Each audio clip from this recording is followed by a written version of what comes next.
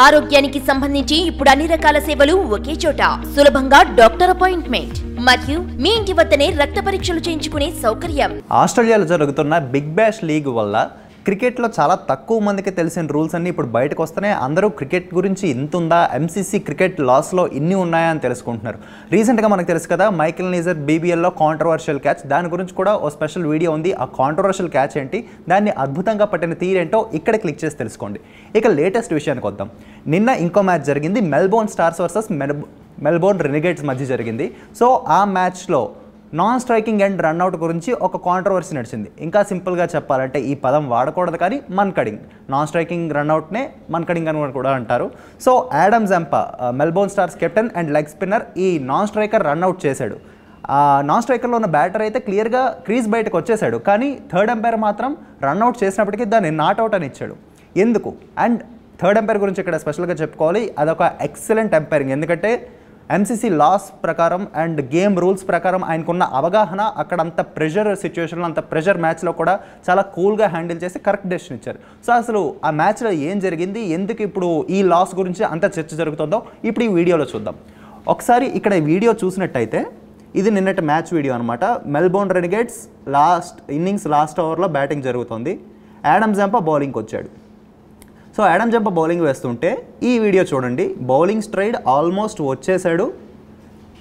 ఇక్కడ ఒకసారి పాజ్ చేస్తే ఇది నార్మల్గా అతను బాల్ రిలీజ్ చేసే పాయింట్ అనమాట ఆ బాల్ రిలీజ్ చేసే పాయింట్ దగ్గర నుంచి ఆగి మరి బ్యాటర్ బయటకు వెళ్ళిపోవడానికి గమనించి అప్పుడు వెనక్కి వచ్చి రన్అట్ చేస్తాడు. సో బ్యాటర్ బయటకు వెళ్ళిపోయాడు కాబట్టి రన్అట్ ఇవ్వాలని యాడమ్ జంపా అపీల్ చేశాడు. కానీ ఎంసీసీ లాస్ ఏం చెప్తున్నాయంటే ఎంసీసీలో thirty eight point three law ప్రకారం ఒక బౌలర్ యూజువల్గా వేసే బౌలింగ్ వేసే నార్మల్ యాక్షన్ హై పాయింట్ ఇప్పుడు యాడమ్ జంపా హై పాయింట్ అంటే ఇప్పుడు మనం వీడియోలో చూసాం తనకు వెర్టికల్గా పైన ఉంది. ఆ హై పాయింట్కి చేరుకున్న తర్వాత వెనక్కి వచ్చి రన్అట్ చేసే వీలు లేదు. రన్అట్ చేసే అవకాశం ఎప్పుడు ఉందంటే ఇంకా బౌలింగ్ స్ట్రైడ్లోకి పూర్తిగా వెళ్ళకముందు ఒకవేళ బ్యాటర్ క్రీజ్ బయటకు వెళ్తున్నాడని బౌలర్ భావిస్తే అప్పుడు రన్అట్ చేయొచ్చు రన్అట్ కోసం అపీల్ చేయొచ్చు. అప్పుడు నాన్ స్ట్రైకర్ రన్అట్ అవుతాడు. కానీ నిన్న అలా జరగలేదు.